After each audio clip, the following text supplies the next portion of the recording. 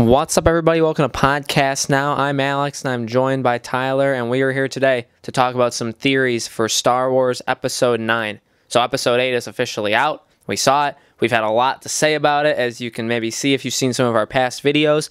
And we're going to talk about what we think Episode 9 will be like. Well, what, what do we think maybe some of the elements are going to be of it? Maybe what we think the title is going to be. How do we think they're going to wrap up this final episode in this trilogy? Um, they did a lot of stuff in 8 to change our original vision of what 9 is going to be. So, Tyler, let's just start this out. What do you think the title will what do you think are some possible candidates for the title for episode 9? I think it's either going to be Star Wars A Spark of Hope um, or Star Wars either The New Order or Star Wars New Order.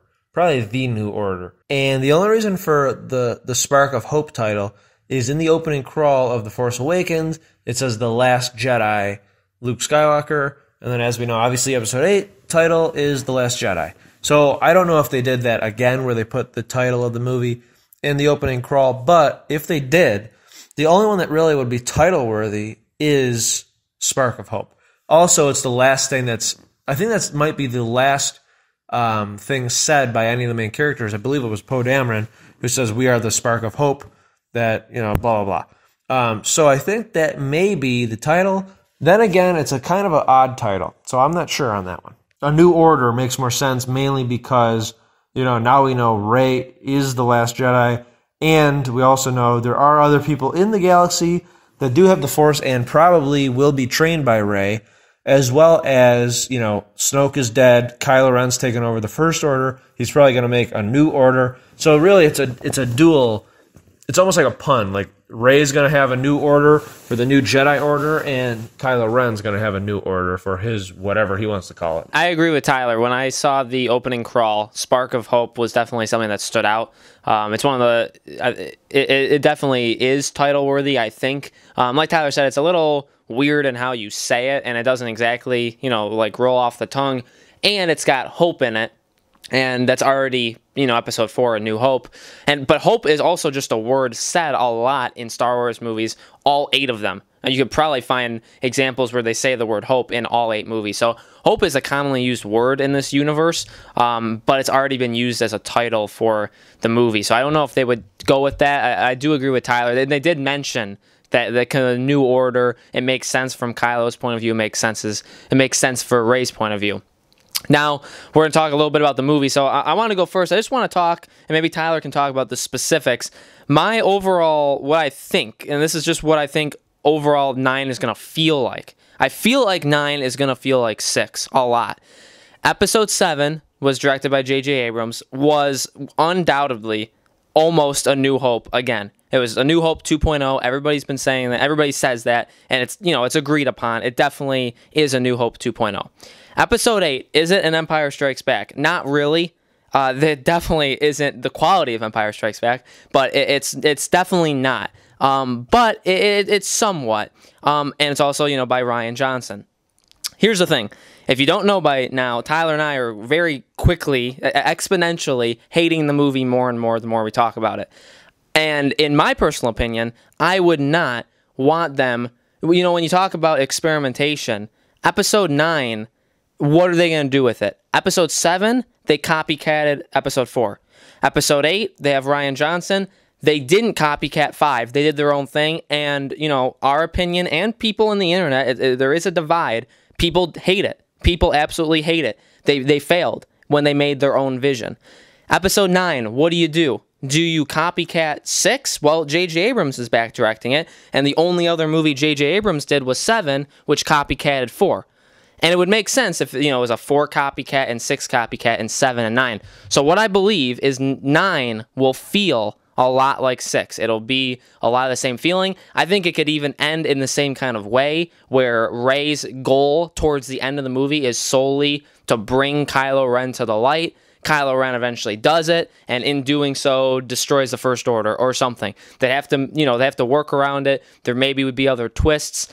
They they need to figure out what their central threat is, if it's Kylo killing Rey or whatever. But they have to figure that out. But overall, I think that's the kind of atmosphere we're gonna get for Episode Nine. So Tyler, what do you think? Yeah, um, pretty similar.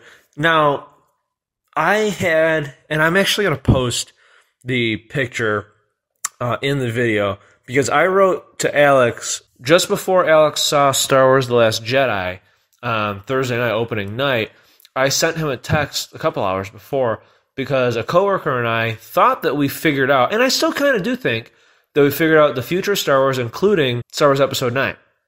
Um, and, you know, because we were talking and we are like, well, how, you know, in the new trilogy by Rian Johnson, they're still gonna, they can't not have either Jedi or, you know, or whatever.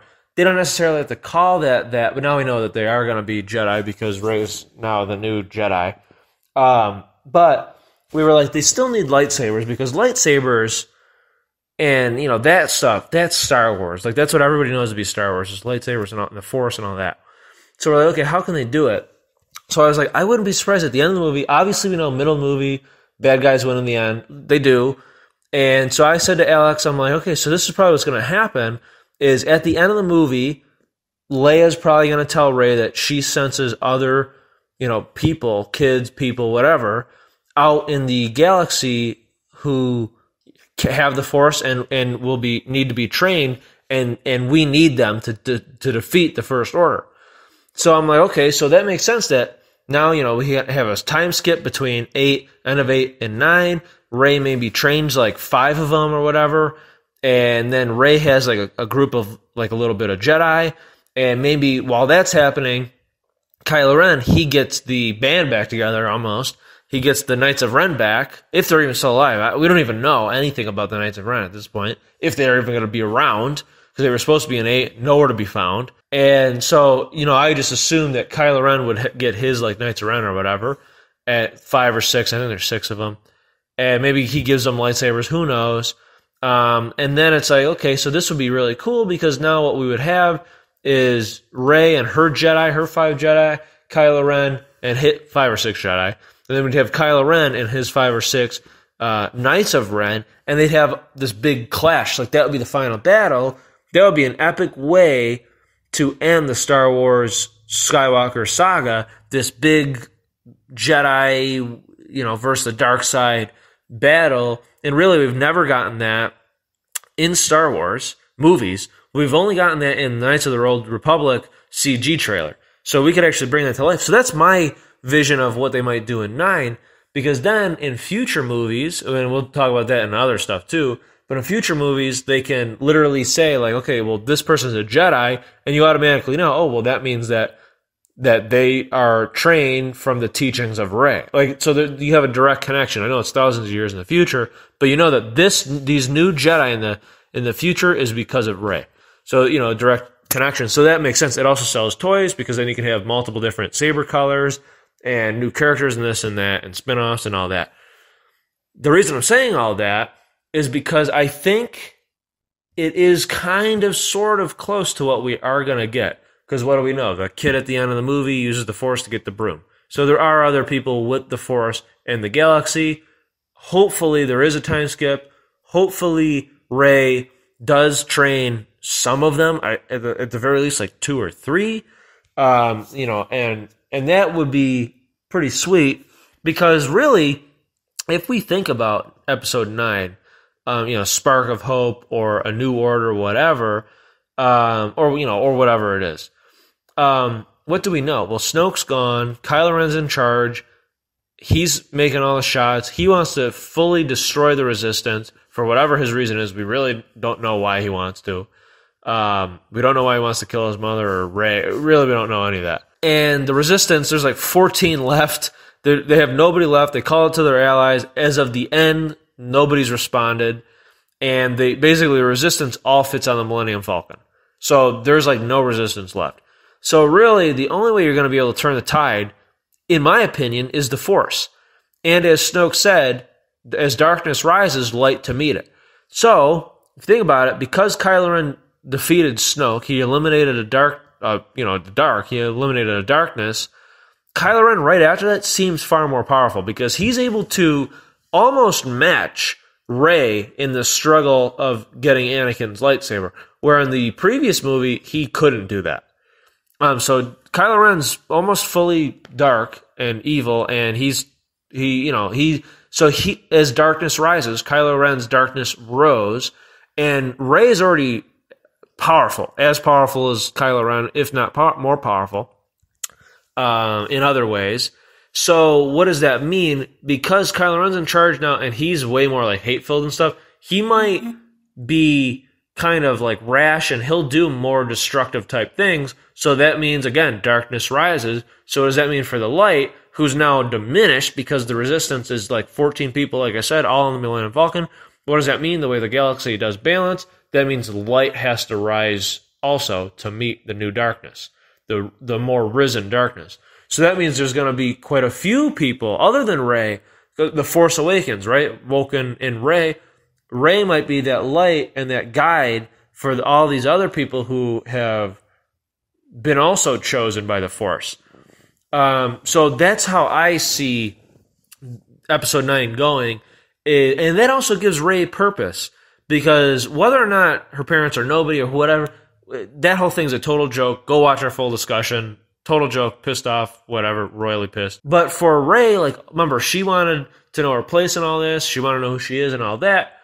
By allowing Rey to train and guide these new people to who would become Jedi and to understand who they are, that gives Rey purpose, um, which she doesn't have. So she now knows, like, okay, well, my parents don't really matter, so I got to get over that. But then it's like, well, what's my place? Oh, this is my place. Now I'm a Jedi, and now I can help other people. That's my place.